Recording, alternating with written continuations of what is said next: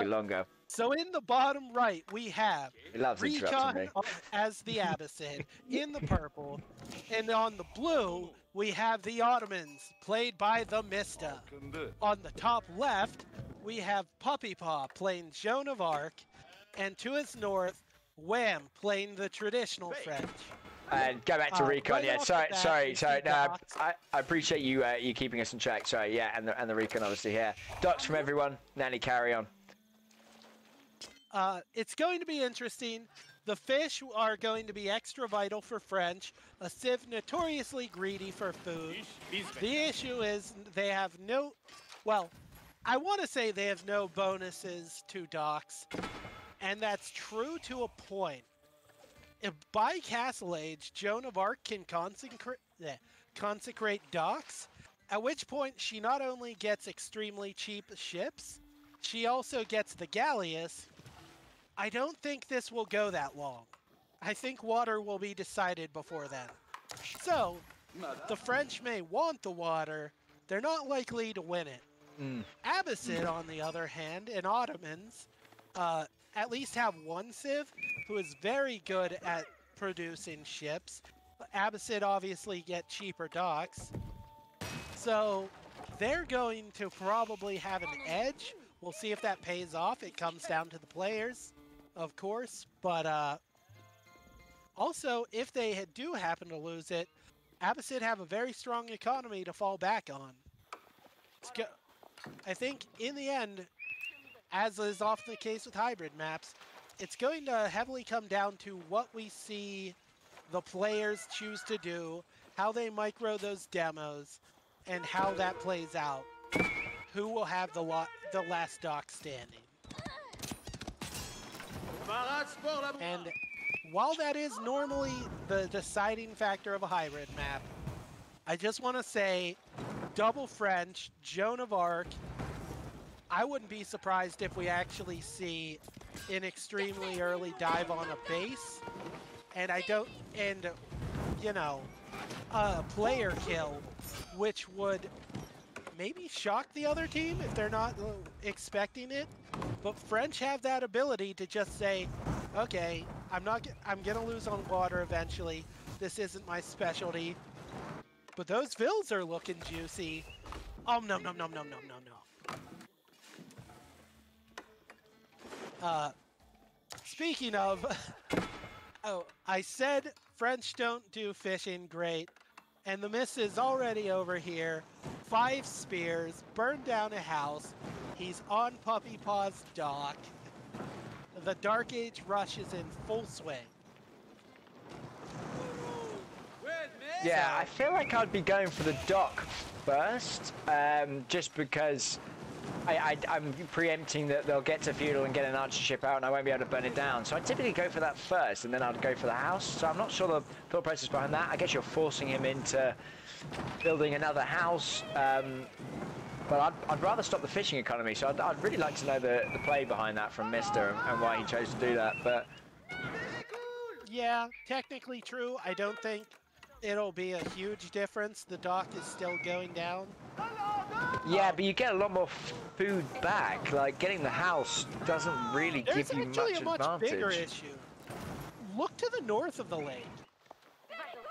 Uh, a spear decided to patrol north to make sure another dock wasn't going down. And look who's building said extra dock. Yeah, I, I also just want to point out as well, which I thought you were talking about, is what Wam has built. You've got the Chamber of Commerce coming out. Because he, ca- he can trade straight across because of these spawns. In the last game, you couldn't do that. Oh, I know you couldn't. Hang Yeah, on. Yes, so he I can. He can just straight, wanna straight to here. This is an extremely effective map for this landmark, actually. Uh, Mm. It's quite long. The trade will pay off quickly. They have a, a market in the corner. And most importantly, he could actually try to uh, go into possible fast castle and into arbalétriers. That's one way you can alter your composition to help deal with these two civs who usually do quite well against the traditional Knight Harass. Uh, yeah, so... Speaking of things that are small but funny, Puppy Paw's Scout, ignored for some time by the Mista, is actually taken off, uh, you know, a fair amount of health from this dock. Although a villager now responds, heals it up. Just, just an amusing anecdote amongst the real horrors of this war. yeah, Jeanne d'Arc as well, very much out of position, chased away by the Ottoman units, now building houses, is the only XP she's going to be getting. I'd say, I mean, let me get on to Puppy Yeah, so she's she's not far off level 2, um, but, you know, you, you'd want a level 2 by now, right? It's yeah, quite a while ago, uh, right? If everything's going ideally, she's level two by the time you hit the feudal age. Yeah, which would have been, you know, a good two and a half, maybe three minutes, yeah, three minutes ago maybe, with fishing economy maybe three minutes ago. Yeah. So she is in a bit of a pickle right now, to put it lightly. So yeah, uh, if I check Wam, he is, does he have his eco tax? He grabbed Broadaxe, it makes sense, you're on a water map. That's at least one trader who started the long route to the market. 52 gold per trip. Like I said, that'll pay off immediately. To the south, after taking out the dock, uh, spears have moved on to the gold. Uh, Puppy's rushing up a tower, but he might be idled off a second resource now. And this seems like it could just continue to build in momentum. We might see a quick game if okay. he doesn't find a way to stabilize against these Ottoman uh, units. Agree, agree, and and as well, something to know is outside of the the war on the on the on the fishing economy. Uh, Mista is going into trade. He went for the trade, the Sultanhani trade network. He's starting to trade. I really wish he goes for that Vizier point if he ever gets the chance to. Mm-hmm. Um, and also, we've seen some units flown about from Recon. Uh, and he's spotted the French trade going on, and we've got the Abbasid uh, military school units right up on that trade post, ready to stop that which is going to be, yeah, this is is not good considering the units as well from the Mista coming in um, and potentially prodding and poking as they're doing on this. It's, uh, yeah, with the trade behind this, yeah, it's looking, it's looking good for these guys. Yeah, Wam is stabilized on his side. He didn't lose his docks. His ships are actually this is unusual, but they seem like they they have the advantage against the Abbasid here. They've pushed them all the way under the Abbasid dock. So that's going well. Oh. Wam's problem is just going to be if Puppy Paw doesn't manage to stabilize his side of the map, which isn't Puppy Paw's fault because he has two armies over on his side. Yeah, like I think said. the armies are getting less and less relevant over there, though, with the the state of water right now. Um, Puppy and Wam really decisively winning water right now.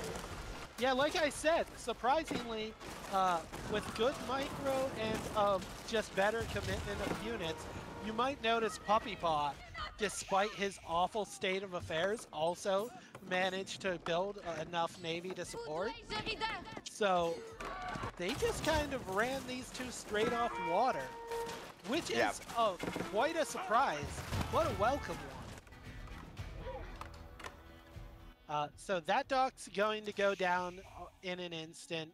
On the south side, you can see that Mista's Fishing is currently garrisoned up. He has put the uh, emplacement on it, but that dock's not long for this world if they don't do something. That's Puppy Paw Scout is still on that dock, and he's worked it down by 30% health again.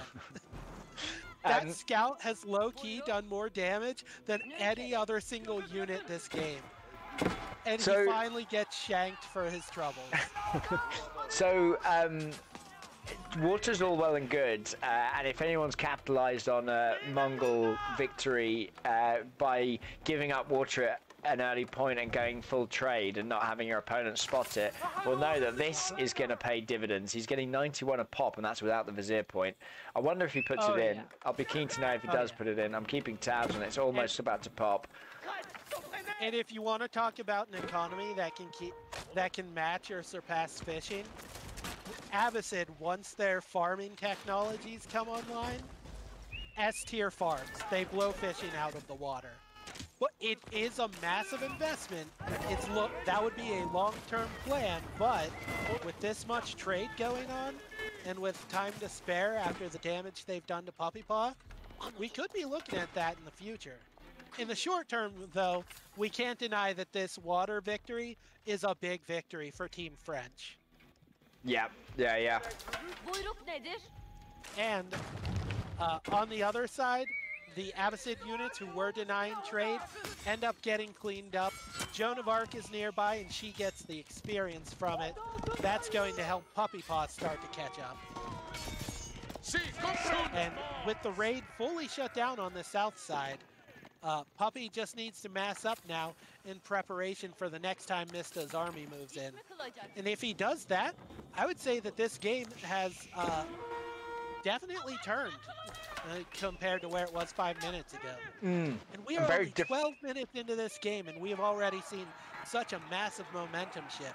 It really shows just how much goes on when you get to a hybrid map like this.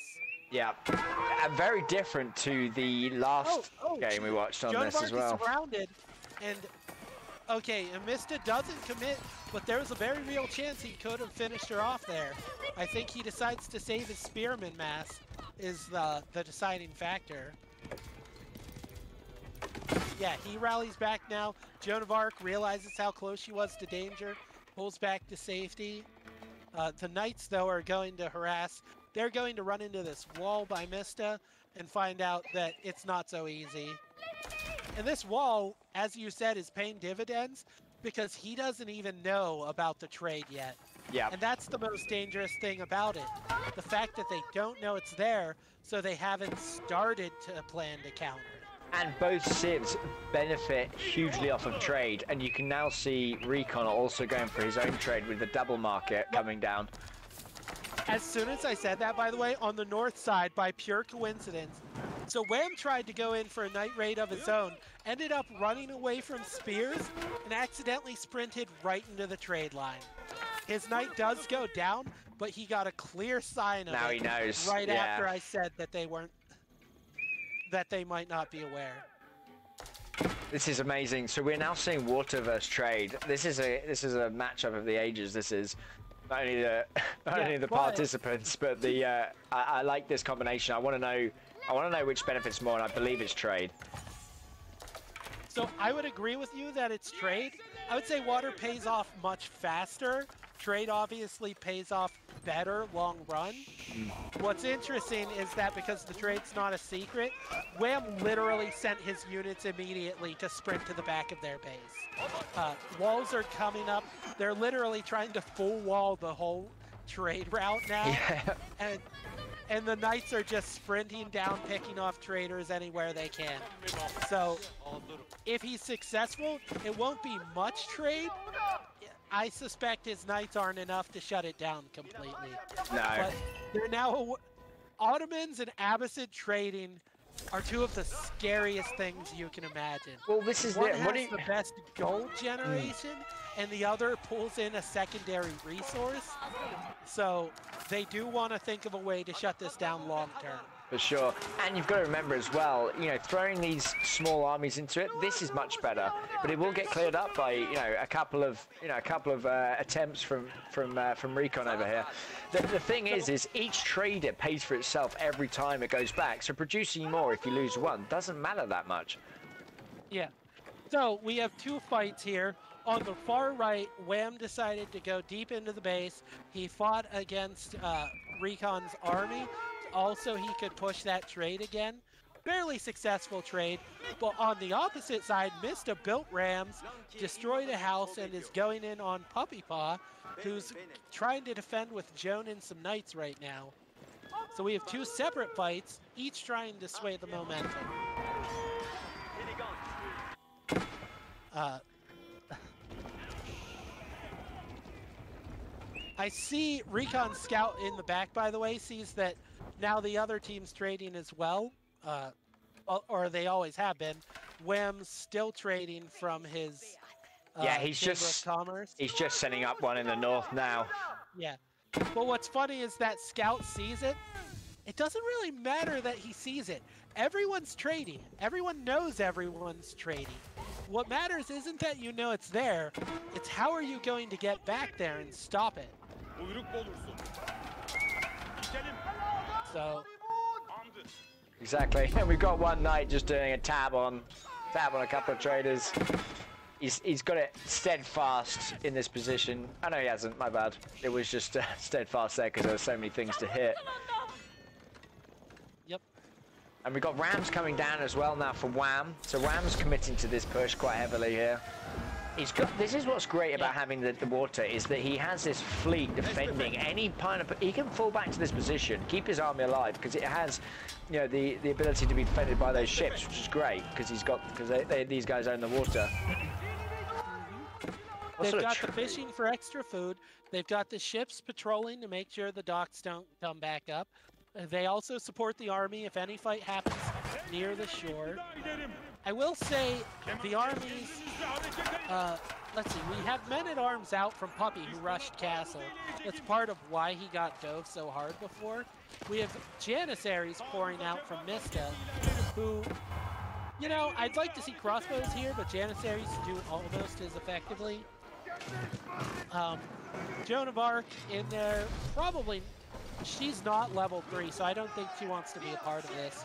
This is actually a dangerous mass from the mist on the south side.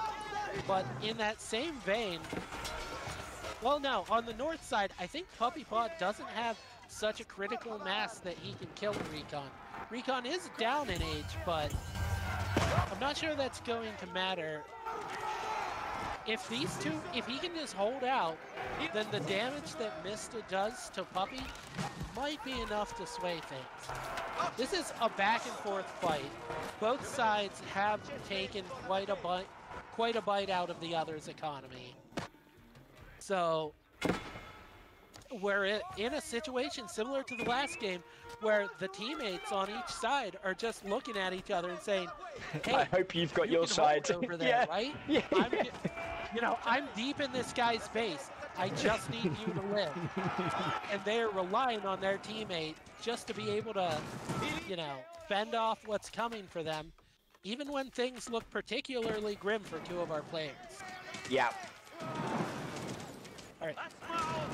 Mista produces two more rams. He only sends in one. That might have been an accidental misplay. Uh, on the far side, yeah, Wam can't get a decisive fight with this army from Recon. They just keep shadowing each other. He does do the smart thing. He Moves to the trade line. A Recon won't engage. He's interrupting the trade. He Yeah. says, "Well, if you won't fight my mass, then I'll fight your economy." And Exactly. And force you to fight me. yeah, exactly. It's like it. Because this trade is now me or you take completely shut down. Nothing is going back or forth now from here.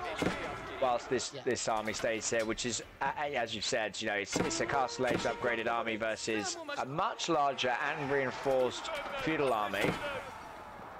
But Uh, on the left side, by the way, Puppy Paws Joan hits level three. She spawns the champion. That's that gives her very elite units. So even though he doesn't have the mass, he uh, he now actually has superior units, uh, just in quality. And he is. Oh, a mango comes in from the Mista. I think Puppy probably dies here uh, for pushing, but as long as he stalls Mista, and the fact that he's now shown, hey, I have the better quality units, that's going to have an effect. For sure, and he's also forced them to build a wall on the trade line. There's no gate there yet, because there's still four spearmen there, so trade is now not working. So now they're up against uh, a fully fledged fishing economy, some trade in the back line for Wam, units in in, in Puppy's in, in Recon's base. I mean, this is yeah, this is looking. I, honestly, I think this is looking really good for Puppy and Wam right now. Speaking of, Wam chased that army north, he forced them against the wall, and he finally got the engagement he wanted. It's going down as we speak, and uh, I'm not sure. I'm going to check. Did the the upgrades never came in? He's only trying to grab veteran archers now. His mass is gone. So he just ate uh, that fight. Yeah, you without know, any upgrades. Yeah. Castle. Which is the last thing you want to do. You've just spent a load of resource on castle, and then you've lost your army fighting without the upgrades of what just cost you a shed load. And now the upgrade comes in, it's too late. There's only 12, 13 of them left. He's lost his mass. Wam can just push now. He is pushing. He actually he actually took down the TC and he has a ram on the House of Wisdom. I think this was the final engagement they needed. I think that Recon's dead, and although Mista is still ahead of Puppy Paw, it doesn't matter. Puppy Paw's the one who's backed in at break when under pressure.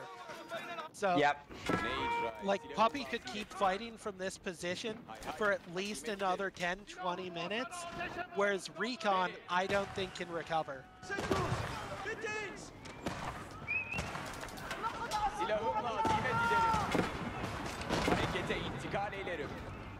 Yeah, the... Oh, I see Wam is actually walling the trade out now. He's fit. He's making sure that recon space is isolated. So, if that wasn't already the final blow, it's about to be. Because oh, well, yeah. when the wall goes up, there will be no trade, and the Mista won't be able to reinforce his partner, Rico. And if I'm correct, I think we're about to head to game two. Yeah, Mista Surrender is out on the cube. Oh, you must be a little bit ahead. There you go. Mista Surrenders. Excellent. So we now have a game three uh, in Nanny. We've already had one. This is two. Now we've got a third. So we are going to the best of three. Uh, I see a few people it's, asking it's about... It's what you want to see in a finals. I know our is. competitors don't want to see it, but I know everyone in the audience does, and I'm with them. It's a people's game. We're going to the final game of this best of three of the finals of the last Empire tournament. Thank you, Nanny.